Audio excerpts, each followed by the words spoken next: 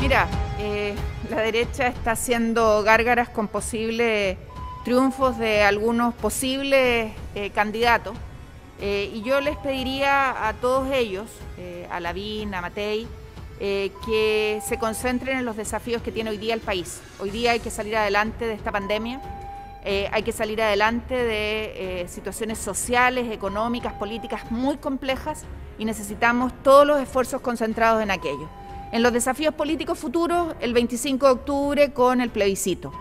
Y dentro de los desafíos inmediatos, y voy a poner un tema que no me han preguntado, pero que ayer sumó más eh, respaldo, nosotros estamos avanzando en la propuesta de eh, transformar las pensiones en nuestro país. Eh, yo soy de las que cree que hay que enfrentar una ley corta que termine con las tablas de mortalidad, que establezca 85 años la edad de